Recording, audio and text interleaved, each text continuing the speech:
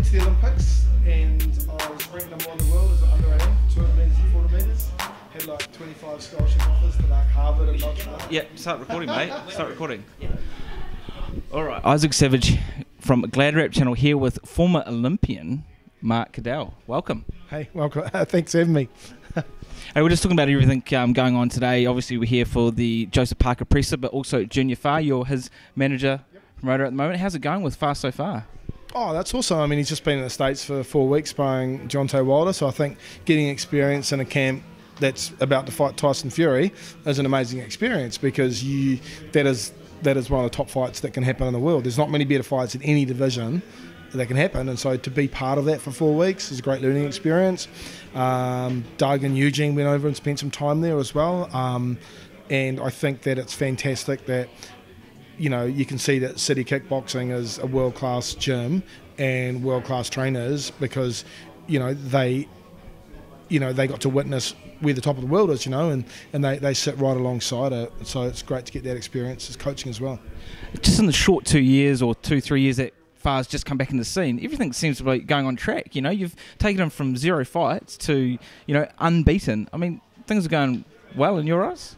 Yeah, I mean, look, as a manager, you've just got to be really disciplined on, on your approach. And yeah, you can take hard fights now, but I don't believe in this is a business, and I don't believe in taking a hard fight unless something's on the line. And so you know, hey, we'll fight everybody. Like when David Higgins rang me up to see if we'd fight Joseph, I'm like, shit, yeah, of course we will. Mm. We'll fight. But here's the deal, because I'm not going to cash him out, you know, because you know Joseph needs an opponent. They only fight once, so it needs to be for the right money, right? So you know, we could we could take some really tough fights, but this is a development sport, and you get paid right at the end of it. So you've got to be disciplined and have a plan and a strategy, and work hard on it. And that's what we do. It's interesting you say that because you read the articles, and you look at the press, and you know you just mentioned Higgins, and you think, oh, there's bad blood there. But seeing you guys here today, mates, it's just BAU, right? Business as usual. Oh, look, I mean, Dave and I have been friends forever, eh? You know, but this is a business. I mean, look, I'm sure, I know Junior wants to fight Joseph, and I would say that Joseph wants to fight Junior. Junior doesn't call Joseph out. Junior says, I can't wait to fight the likes of Dillian Whyte and Joseph Parker and Anthony Joshua because it's aspirational and he's on a journey to get there. And he realizes that he needs to fight those guys at the right time that suits him, not that suits them. And, and like I said, we're not gonna we take the tough fights for the money. That's the that's the business. My job is to make junior money and to make sure he has something at the end of it and that he's in the position to win. Great approach. And look to get him fast tracked to the way you have is, is absolutely phenomenal. Also to see him spending time with Deontay Wilder. I mean how many other New Zealand boxers can say that they've done that? Apart from the likes of Joseph Parker I see Deontay Wilder as one of the biggest fighters in the world at this stage yeah, I mean, like the thing is, is you can have tough fights and you can do it tough and you can take risk on losing and then set you back a couple of years, or you can go into camps with Deontay Wilder and have the harder lessons in sparring than in the fight. And so it's about development. You know, when you become professional in boxing, you're not. It's not like you're available for the All Blacks. No, no, no, no. You're just playing club rugby. And when you're a professional rugby player, you are available for the All Blacks straight away. In boxing, you take time to be worth that you know, yes, you're a prize fighter, but I mean, a prize fighter for 600 bucks on your first fight, it's not really a prize fighter, right? And so we just have to have a very disciplined, measured approach to be successful. And it looks like, um, you know, the way that, the, you know, Parker's, uh, or sorry, Fa's progression is, is almost following the, the footsteps of Parker because if you look at Parker's career, it's been quite strategic as well. Would you say you're sort of blueprinting off that formula? Um, no, to be honest, look, David, David and Duco you know, they did their development in New Zealand and we're doing ours in America. And I chose to go into America because they had their strategy here. We can pick this up later. Sure. Yeah. Um. Um, talking about progression, Joe Parker. Oh, different. You, you were saying following the same blueprint. Yes, yes. Like, no, yep. Okay, so yeah, well, yeah back yeah. to that. So talking about the Joseph Parker blueprint, yeah. I would a lot of people would say, you know, that's that's a recipe for success. And I said, have you followed on that on those footsteps? But you said something a little bit different. No, so I mean, look, I got a, um, I managed a guy got to number one in the WBO, so I'd kind of been through this process before, and I'd had another guy at number six, so this is my third fighter that I've got into the top 10 um, as a manager. And so I, I, guess I probably, I did, I, in some respects, I created that. Uh, well, not created that because it wasn't mine to create, but I achieved that ranking for a fighter, you know, um, ten years ago. All right. And so I knew the way to do that, but I decided to do it in America rather than in New Zealand. And I guess what I kind of know is, is that it's promoters that, that own belts. It's not it's not fighters and managers, and it's TV stations and who you're with. And so uh, I made a strategic decision to go with an American promoter who's well connected with TV. Of course, Lou DiBella ran HBO, or set up HBO After Dark, just now just finished. So Lou's very experienced. Lou runs shows for Al Haymon, Bob Arum, and Eddie Hearn over there. So he actually deals with all three, the big the big three, right? So I made a decision to go there. Uh, Duco made a decision to do everything here in New Zealand. They did a fantastic job, and um, things went their way with Fury losing all his belts, and they jumped on that opportunity because they're in the right place at the right time, and we had the Ruiz fight. Happy days, right? So I, I don't, I can't plan to be in there, so I can't plan for the guys to give up the belts you know what I mean, and then hope there's some eliminators that we get. You know, we needed to do it a different way, and that was just the way it was in boxing. And Tyson Fury did the, the world a massive favour by beating Klitschko, and then he did a massive favour to the world by letting all the belts go, and then now we get all these fun, exciting heavyweight fights. And so, you make a good point, and and you're exactly right. He threw a spanner into the works, and it's sometimes things you can't plan for. What I was going to say is that for if you're you know sporting background, business nous acumen, do you bring a bit of ba- bit of that to how you manage fighters? Um, Um, in the promoting world? Yeah, absolutely. I mean, like, I mean, I'm involved in, in high performance sport and other sports, so you know, I believe in creating teams and having experts in teams, and I don't believe you should do anything you're not good at. Um, we have a you know S and C guy that's one of the top rotational force production experts in the world, and Junior Fa's trained by a world class, well, one probably one of the top two or three rotational force production experts. Now, the boxing industry doesn't even know that that guy exists, and I do, and I use him. I used Lydia Ko's, you know, mental performance coach for Junior um, when he brought her from seven to kind of 17 and when she was number one in the world. And so he spent 10 years with Lydia Ko. So his mental performance coach is world class you know, runs on board. Uh, you know, we've got a treatment specialist as well that Junior sees three days a week. Um, you know, we have Doug Viney and Eugene Bareman doing uh, the coaching at City Kickboxing. So we have experts in every area, right? And so it's not just about having a coach that does the training, the physio, you know, everything. You know, I stick to the business of boxing and I'm there to specialise in that side of it. And I research the international game, who to go with and who not to go with, um, and do a lot of work on who we're fighting and who we're not fighting.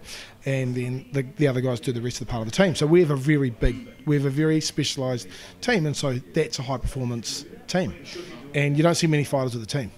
Yeah, look, and well said. I mean, we just heard uh, Fa speak out too about health issues. You know, a couple of months back, it was very public that he had a low uh, blood count or iron, iron levels since then, what what are the improvements and what what's switched up from what you've just um, responded yes. on? So again, you know, as soon as that fight finished, I knew something was wrong. Uh, if you look at the first round of the fight, he threw 50 punches, did everything we asked him to. Then he fell off a cliff, threw 30 punches, and so he just didn't have the have the oomph. And so the next day I tested him. He I tested him at the Millennium Institute.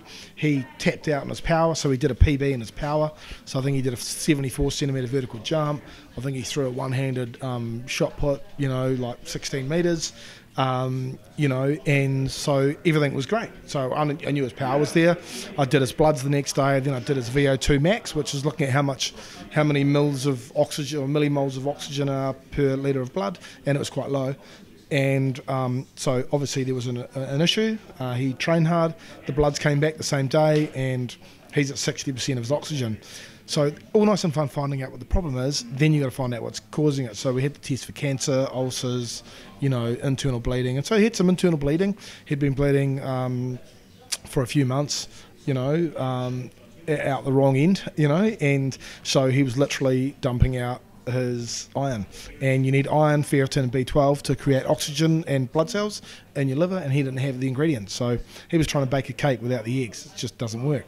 So I then had to find out and figure out what the problem was.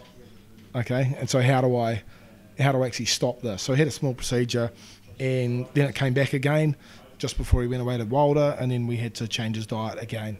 And so it was a long process. It took me three or four months to fix it. But sounds like a continual process ongoing. But as long as you're trying to, um, you know, use things to fix or improve. Yeah, sure. I think that's what Junior's saying is, is that he wasn't giving us the information about how he was feeling and what was happening to him physically, you know. And so when, once we found that out, we could start to get it. So he now knows that. I think um, everyone can take away from that too. You know, a lot of, especially in this tough man sport, people probably don't talk about things. And Fa illustrated that today. That's probably a good thing to talk about to you and other coaches and other boxers out there as well, right? Oh yeah, man. I mean, you, when you're ble- when you're bleeding, you know, you know, and you don't want to say something. It's kind of like what they're going at mental health at the moment. Eh? You just got to you got to share it, right? It's the same. An athlete has to share with his team. At the end of the day, I'm the conductor. I got to make sure that the violin is going well, and the drums are going well, and the and the you know the, the brass is going well, and everyone's playing, and and Junior's the star of the show, and we need to make sure that we're all doing our bit. But we can't can't do our bit without information.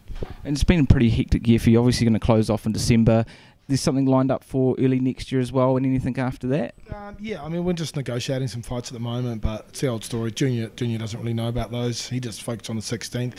I'm always two or three steps ahead as far as negotiating is concerned and making sure we're in the right place. But it's not something he needs to know about until after the fact. Right? We normally have a we normally have a meeting on the um. Excuse my phone. And I did throw Lucas uh, Big Daddy Browne out there. He was obviously here this weekend, fought Junior Pity Patbull, um, or Patbull Patty for the title. Now, would you be open to that fight in the future? Oh, of course. I mean, it's the old story. It's like we fight Lucas Browne if he's something that that gives us. Sometimes it's money, sometimes it's rankings, sometimes it's a belt. You know, the only belts that we're after right now is a world title belt. So he doesn't have one of those right now. So, and we're ranked ahead of him. So that means the only other thing we can fight for is cash, right? That's just the business. There's one of three things we fight for. We like to fight for all three. We like to fight for belts, rankings, and cash. So if there's no belts, and I mean world title bites or eliminators, and we're ranked ahead of them currently in the world rankings from a WBO point of view, then it needs to be money. And so I just think that if a fighter wants to call a fighter out, I, I love it, but also turn up with the promotion and how much you're paying us and make us an offer. Don't just say I want I to fight this guy, I want to fight that guy. Come come with the come with the deal. Do you know what I mean? Like we're not calling out Joseph Parker. We got we got asked to ask to fight him. I, re- I replied to that invitation. Uh, I didn't. I don't go. I don't go. We're going to fight Joseph Parker tomorrow. David Higgins, pay us this. Put the show on. Nah you know, but if I was to call out Joseph, I need to be able to be able to put my money where my mouth is and put the show on. Like you said, if it makes dollars, it makes sense. But there's so many more components to it. You know, it's got to it's got to affect the ranking. It's got to make um, dollars, and it's got to make sense for the future of the fighter. Yeah. Yeah, like I say, I mean, this, this game, you make money in your last two or three fights of your life. So we've got to make sure we get them there to, to make those that, those dollars, right? It's a heavyweight division. It's a, uh, it's a very lucrative division, and you got to, you got to, you know, manoeuvre your way through it, right? It's an exciting journey. We look forward to following you, your career with uh, Fa. Anything else you want to say to everyone watching back home? Oh, no, just, hey, yeah. hey, thanks for your time today.